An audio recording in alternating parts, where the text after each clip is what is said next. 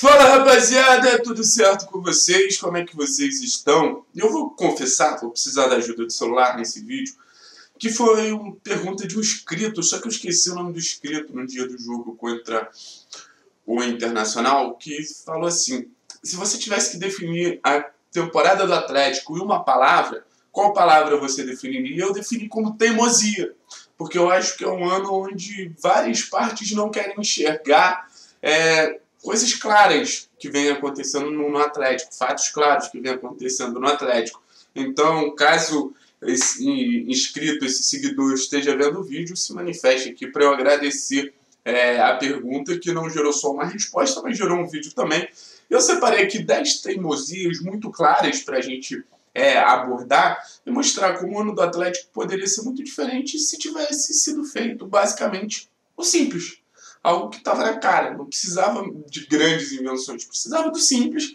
E o simples não foi feito e o Atlético hoje se encontra nessa situação bem, bem complicada, assim, pela expectativa que tinha 2020. Ninguém imaginava que o Atlético seria campeão da Libertadores, não é isso? Mas também imaginava um time mais competitivo, entregando um futebol melhor, mais bem colocado no Campeonato Brasileiro, um futebol mais firme nas competições de mata-mata. A Copa do Brasil não começou, mas obviamente estou falando da Libertadores. Já ganhou o título paranaense de maneira até é, bonita. Acho que não foi um título consistente, mas foi um título ganho de maneira bonita, gols no final, é um clímax bem legal assim para o torcedor. Mas foi só isso também é uma temporada com mais fatos negativos do que positivos.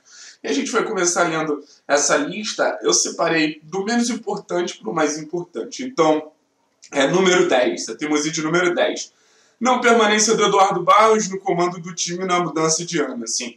Então, acho que esse é um ponto muito importante para tudo que vem acontecendo no Atlético. Primeiro ponto.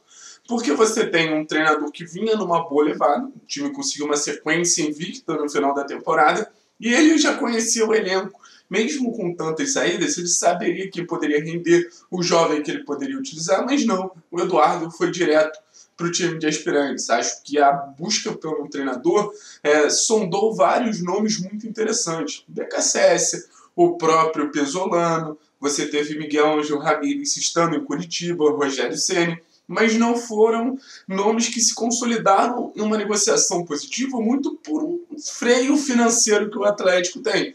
Então a escolha pelo Dorival, que tem boas ideias, não acho que o treinador Dorival Júnior é um cara com só ideias ruins, mas poderia ter sido diferente se fosse um treinador mais consolidado ou pelo menos mais ligado com o que o Atlético desempenhava no passado. Já que não foi, poderia ter deixado o Eduardo Barros que não teria acontecido uma ruptura. A ruptura foi muito clara e o Atlético está tendo que recuperar o tempo perdido de quase sete meses, oito meses, jogando um jogo posicional e tendo que voltar para um jogo de uma transição mais direta. Então acho que essa foi a grande primeira teimosia, não permanência do Eduardo Barros para contratar o Dorival Júnior. Se fosse para outro técnico, eu acho que até valeria a discussão, mas para o Dorival eu teria mantido o Eduardo. O número 9 é muito ligado com o número 10, né?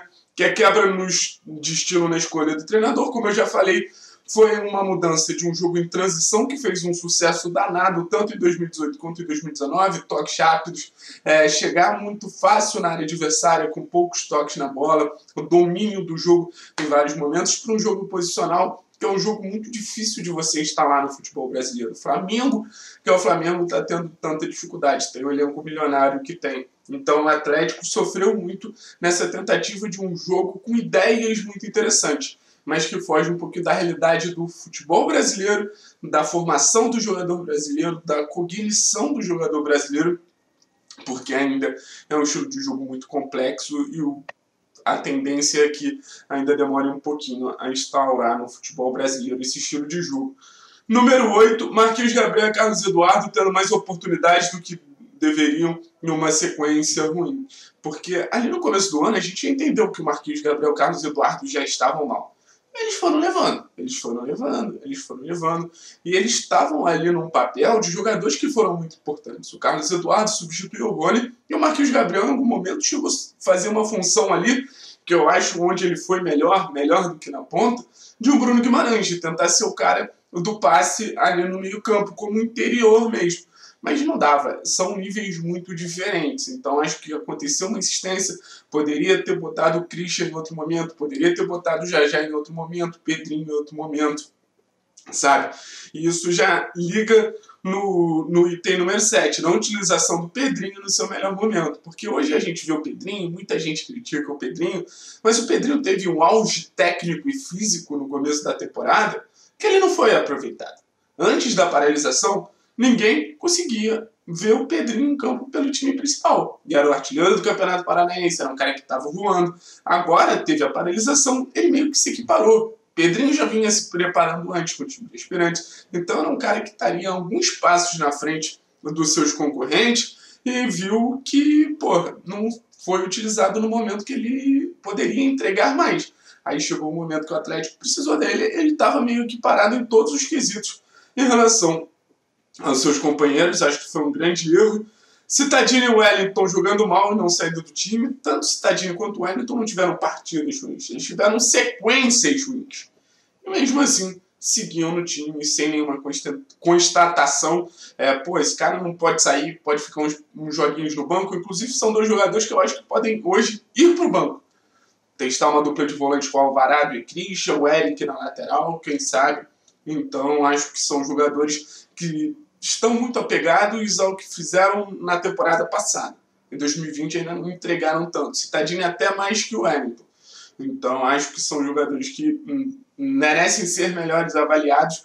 Pô, esse cara merece estar no time titular mesmo, esse cara não pode ir pro banco, o Christian não está jogando mais que o Citadini, o Alvarado não pode entregar algo diferente do que o Wellington entrega, que é sempre tão burocrático.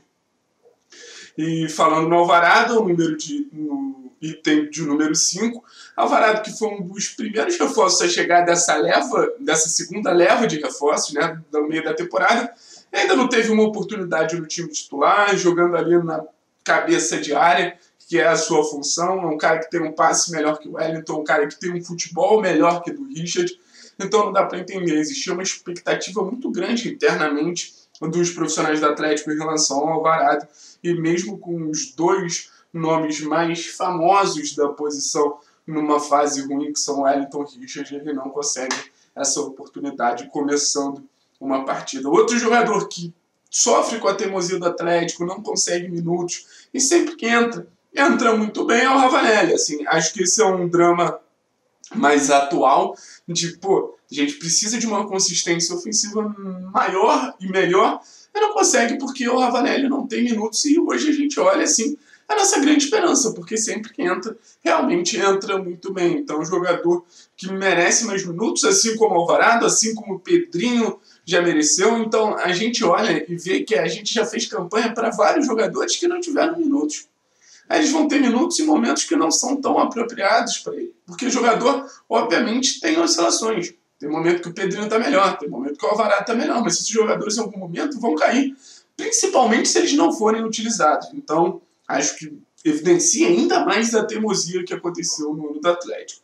Discurso de não fazer grandes investimentos, mas gastando uma grana gigante é o item de número 3. Acho que a teimosia nesse discurso do Paulo Andretti, pô, a gente não investe tanto em jogador, a gente tem dificuldade no mercado, mas pagou uma fortuna em Carlos Eduardo, pagou uma fortuna em Pedro Henrique, pagou uma fortuna em Aguilar, pagou uma fortuna no Jorginho, gastou um dinheiro no Kaiser. Então o Atlético é um time que realmente investiu ao longo do ano.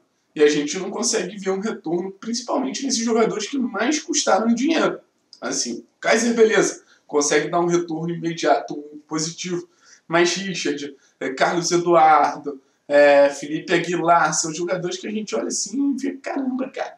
O Atlético não poderia ter investido melhor, não. E a gente está falando até de perfil de jogadores. São jogadores que estão ali em um limbo técnico, em um limbo na carreira, que o Atlético não costuma apostar. Costuma apostar mais em jogadores jovens, costuma apostar mais em jogadores em um momento diferente. Então, acho que fica claro que não soube nem um pouco investir esse dinheiro. Insistência em um estilo de jogo não compatível, número 2. Estou cansado de falar isso aqui. O Atlético não tem peças para fazer o jogo cap, o jogo posicional, um jogo de controle, um jogo de protagonismo, muito pelo contrário, é um jogo reativo, é um jogo de ocupação de espaço, é um jogo de saber suas limitações e encarar os times de maneira competitiva. E não, o Atlético quer se comportar de maneira diferente, sabe que não consegue. Ontem, quando acelerou, foi bem. Com Carlos Eduardo, saiu o gol do Kaiser, com o Pedrinho saiu uma boa jogada que o Walter acabou desperdiçando, sabe? Então não esperem o Atlético massacrando o time adversário. A instituição devia ter esse diálogo muito claro. A gente não tem as peças para fazer o mesmo jogo de 2018 e 2019. São peças diferentes, são elenco diferente, são comportamentos diferentes. Então isso me deixa bem irritado assim. E para terminar, acho que é grande teimosia, né? É, vou até parar aqui e fazer um suspense. Vocês sabem qual é? Grande teimosia do Atlético na temporada?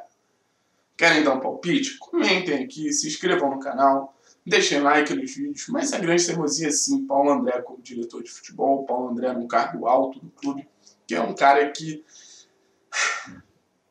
não faz por onde estar ali. Então, quero saber de vocês, não vou discorrer mais com, é, em relação ao Paulo André, todo mundo sabe minha opinião, montou um elenco mal, com muitas brechas. É, tá claro que não soube lidar no momento de pressão ali, quando o Dorival ia levando o time para uma crise, enfim, são mil e uma críticas, não conseguiu manter jogadores, negociações muito ruins, fracassos em outras negociações, então só só coisas negativas para falar desse departamento de futebol, mas o que eu posso passar para vocês é Quero saber se vocês têm alguma teimosia, deixem aqui nos comentários, se inscrevam no canal, comentem se gostaram do vídeo, se não gostaram do vídeo, se discordam de mim, se concordam comigo, porque é sempre legal saber a opinião de vocês, beleza, rapaziada? Como eu sempre falo, tamo junto, é nóis, viu?